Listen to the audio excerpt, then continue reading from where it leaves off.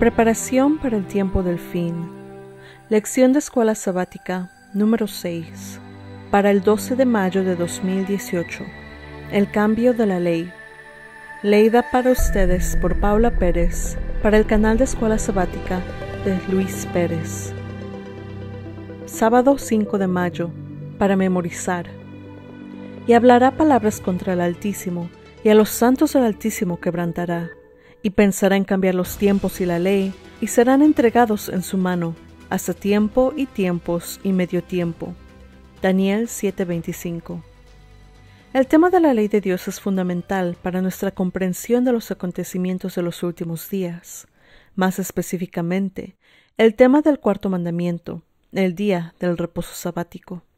Aunque entendemos que la salvación es solo por fe, y que el hecho de guardar la ley incluyendo el día de reposo, nunca puede traer salvación, también comprendemos que, en los últimos días, la obediencia a la ley de Dios, incluyendo el día de reposo sabático, será una señal externa, una marca de nuestra verdadera lealtad.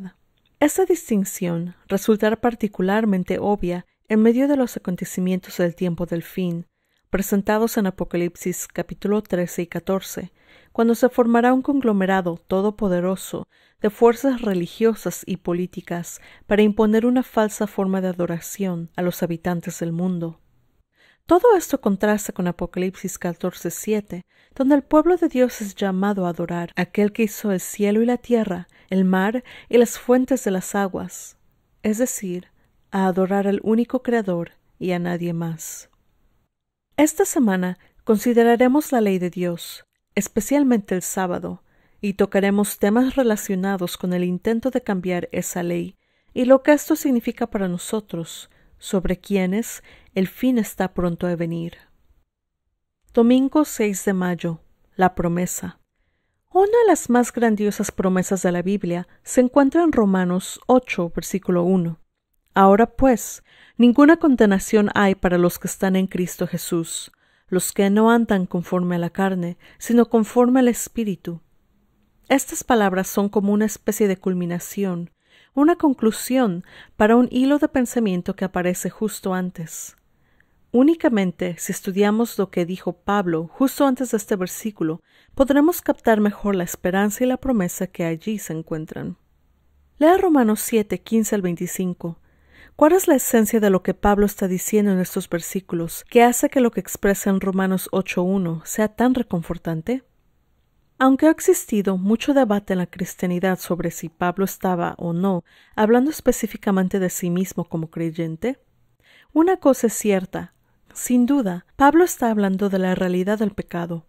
Todos, incluso los cristianos, pueden relacionarse de alguna manera con la lucha a la que Pablo se refiere aquí, ¿Quién no ha sentido la atracción de la carne y del pecado que mora en ellos, que los lleva a hacer lo que saben que no deben o no hacer lo que saben que deberían hacer?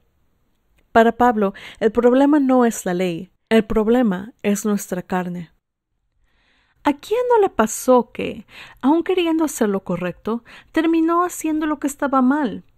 Incluso si Pablo aquí no estuviese hablando de la inevitabilidad del pecado en la vida de un cristiano nacido de nuevo, sin duda presenta un argumento fuerte en favor de la lucha permanente que enfrentan todos los que procuran obedecer a Dios. Así surgen sus famosas palabras Miserable de mí, ¿quién me librará de este cuerpo de muerte? Su respuesta se encuentra en Jesús, y en la gran promesa de ninguna condenación para el que cree en Jesús y que por gracia anda según el Espíritu. Sí, los creyentes tienen problemas. Sí, enfrentan tentaciones.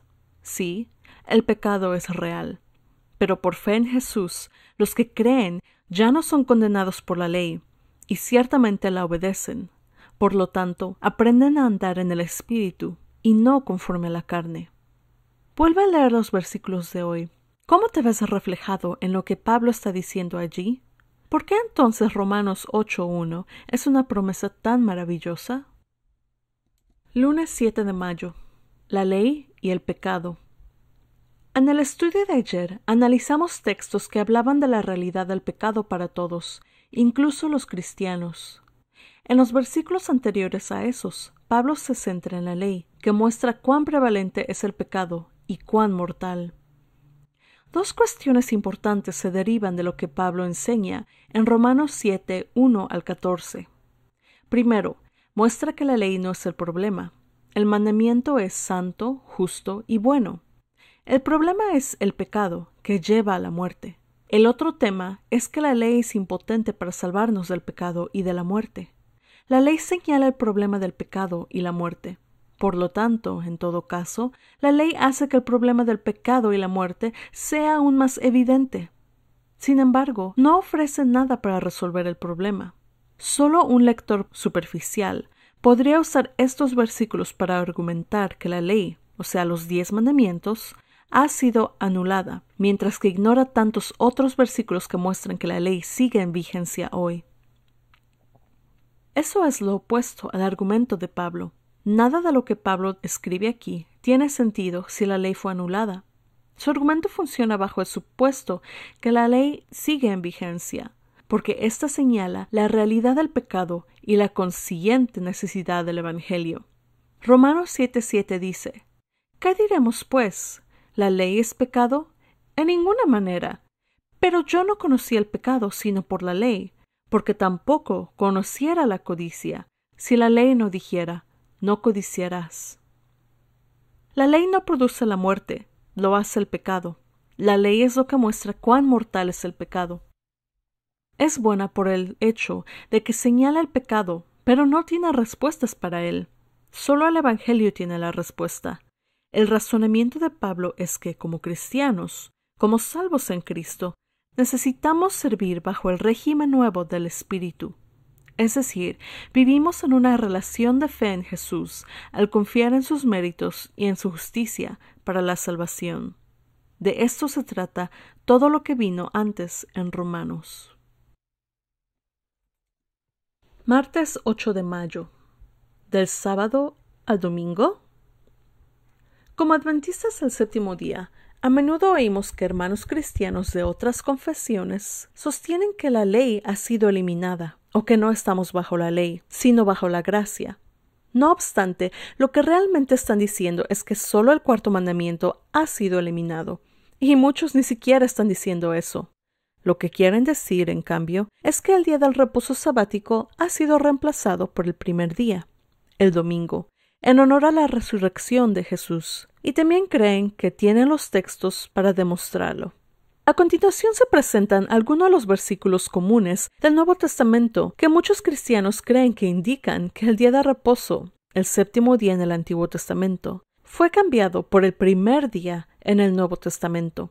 A medida que los leemos, debemos preguntarnos si realmente hablan de un cambio de día o simplemente están describiendo acontecimientos que ocurrieron en el día, pero sin llegar al nivel de prescribir un cambio. Lee Juan 20, versículos 19 al 23. ¿Qué razón se da para que los discípulos estén reunidos en este lugar?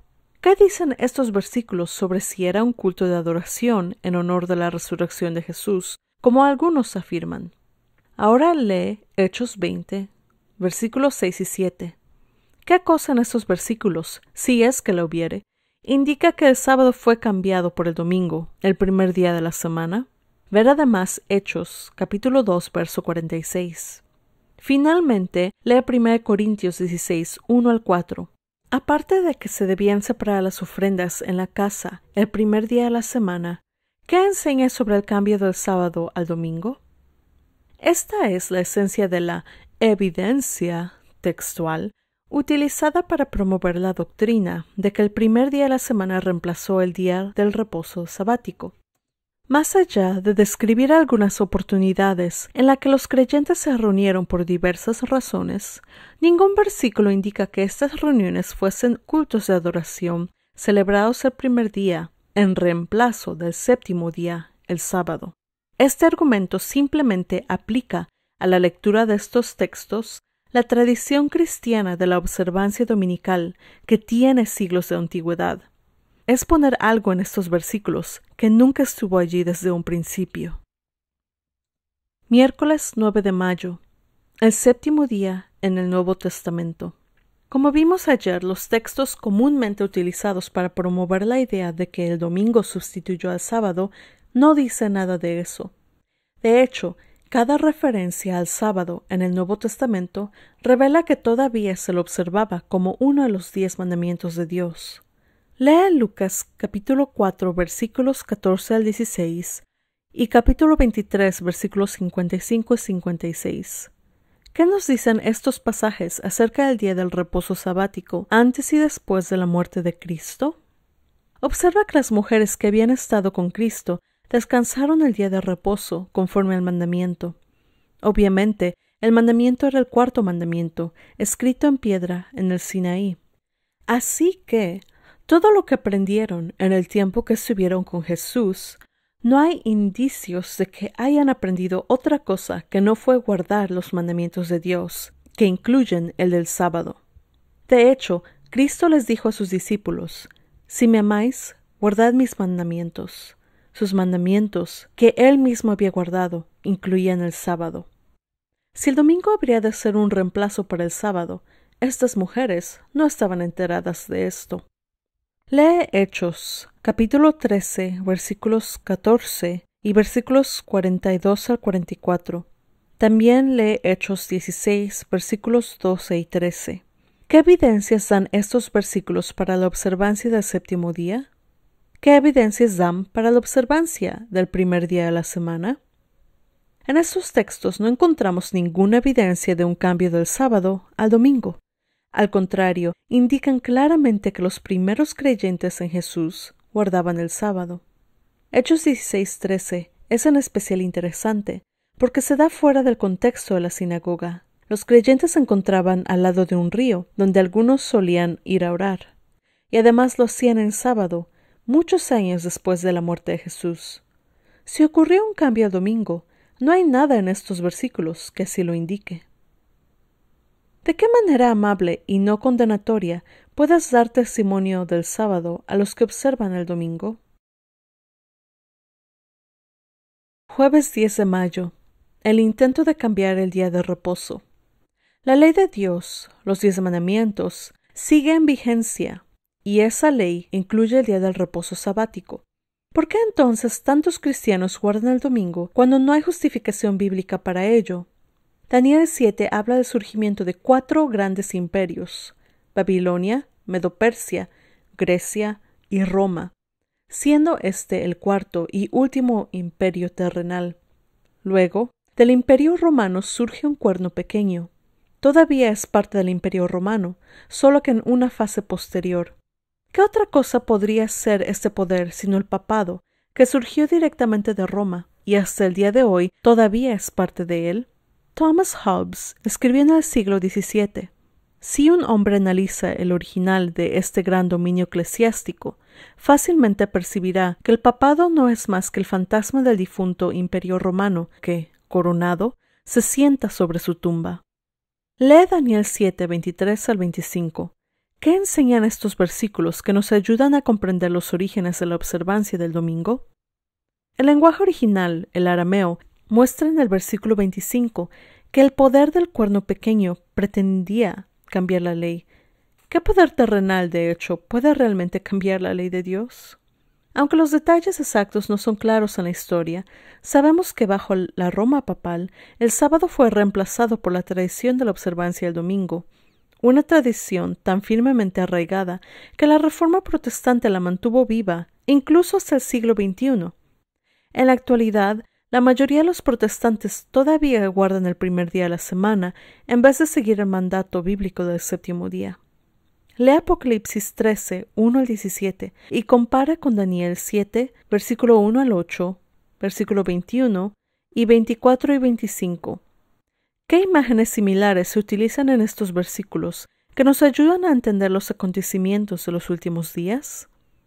El libro de Apocalipsis utiliza símbolos directamente de Daniel, que incluía imágenes de la última fase papal de Roma, y apunta con esto hacia la persecución del tiempo del fin, que se desencadenará sobre quienes nieguen a adorar según los dictados de las potencias vistas en el libro de Apocalipsis. Viernes 11 de mayo, para estudiar y meditar. El mismo dragón, Satanás, que hizo guerra contra Dios en el cielo, es el que hace guerra contra el pueblo de Dios en la tierra, los que guardan los mandamientos de Dios. De hecho, el mismo Satanás se convierte también en un objeto de adoración. Así que Satanás trata de continuar en la tierra la guerra contra Dios que inició en el cielo, y el ataque a Dios se centraliza en su ataque a la ley de Dios.